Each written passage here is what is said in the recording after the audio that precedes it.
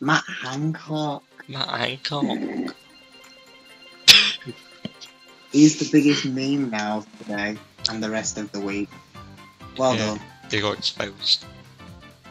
Yeah, he got exposed. Matt Hancock exposed. He had his hand on some woman's ass. Yeah, apparently, apparently he employed her to to be his like personal assistant, and then he's had an affair with her.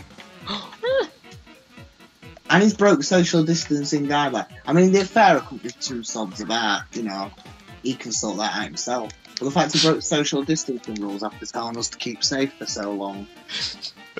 Well, sod him. I'll take eight people bowling with me.